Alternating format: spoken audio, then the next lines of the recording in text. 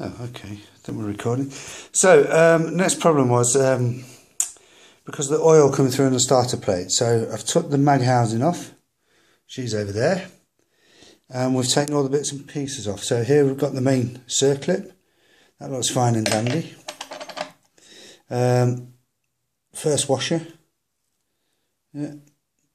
Can possibly clean that up a bit better. Um, here's a little spacer that goes on it. Then here's the main bearing, the internal piece, the race, I think it's called.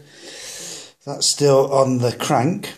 Now the crank is still in the engine, but I get some movement with the crank. I can uh, move it slightly up and down.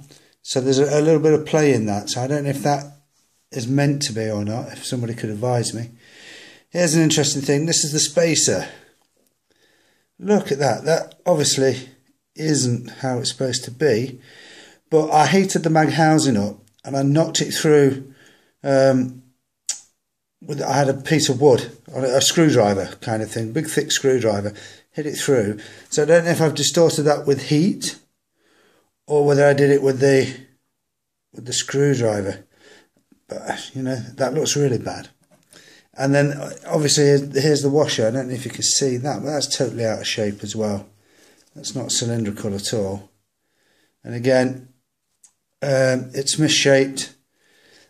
Got a feeling, if anybody can tell me, um, I've got a fear that it could be that the crank has, um, that my crank has bollocksed. So anyway, that's that's the thing that we're looking at. Um, and if we need to, I can show you what the screwdriver I used to, to bang that out. I don't think it could have misshaped that piece like that, but you never know novices can do great things. Um, again, thanks for any help or advice. See you next time.